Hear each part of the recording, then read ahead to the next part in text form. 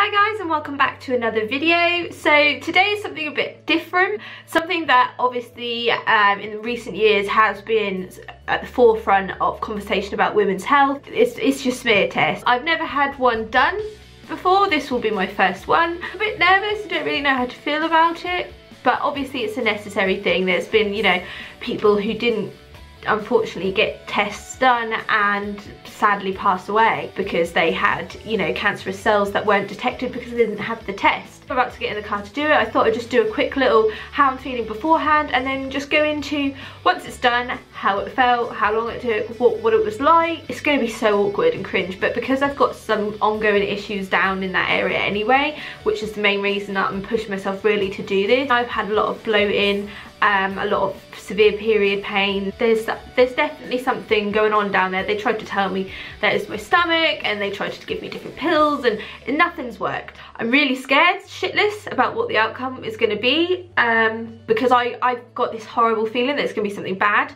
Um, but then at least I'll have answers because so far I've gone about four years with no answers.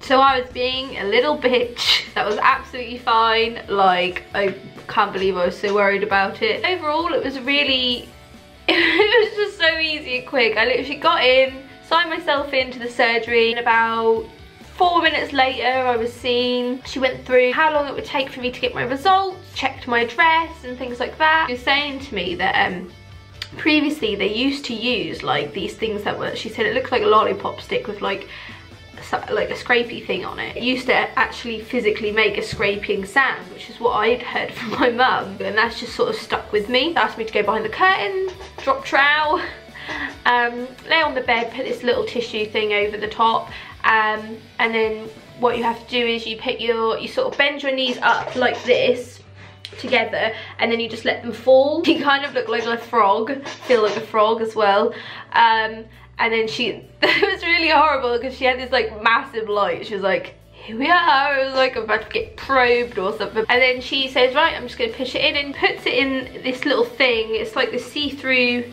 thing and then she sort of opens it up so she can see your cervix. Because the way that you have your legs when you're like a little frog it makes you relax down there as well. Instinctively when she started trying to put it in my legs sort of went not fully up. I didn't like go slam shut but they instinctively lifted up a little bit and she was like if you just let them relax fully onto the, the bed thingy then it will be a lot easier because that will relax your whole area sort of thing. And it like because because I was tensing up that's when it was it was a bit like ooh.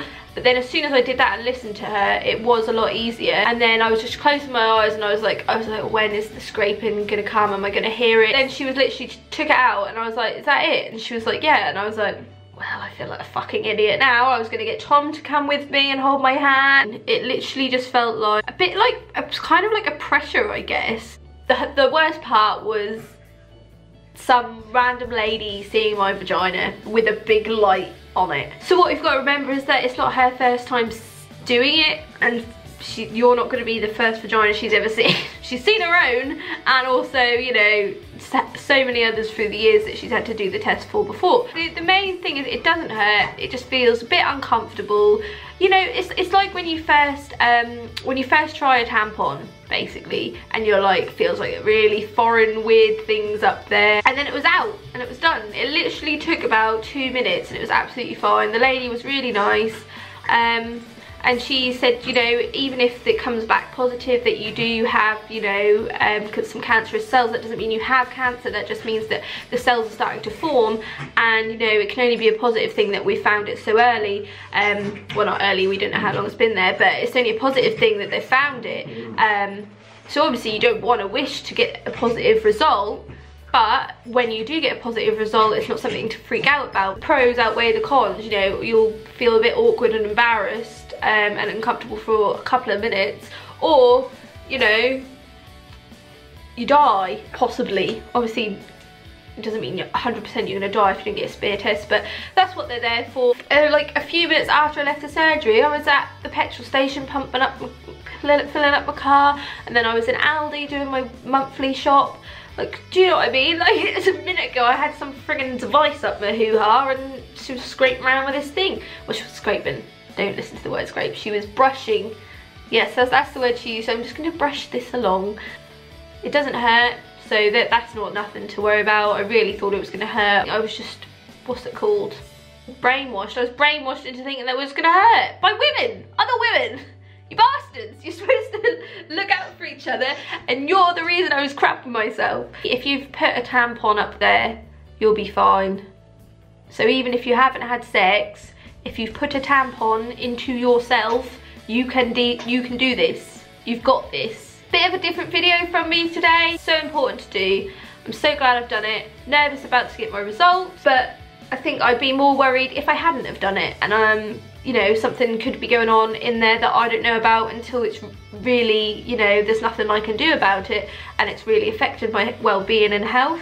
I hope you guys found this video helpful in some way. If you've got any more questions, then pop them below. Obviously, I'm not a nurse, I'm not a doctor, I'm not, you know, you can Google it and look on the NHS. I would have liked to have had someone do a video like this for me to watch and for me to go what am I why am I panicking? Like she did it it's fine. I'd have gone into it a lot more calmer and probably a lot more relaxed and it probably would have been a little less uncomfortable as well because I would have been like well it's gonna be fine. So yes do it. You should do it. Do it as quick as you can because you don't know it could save your life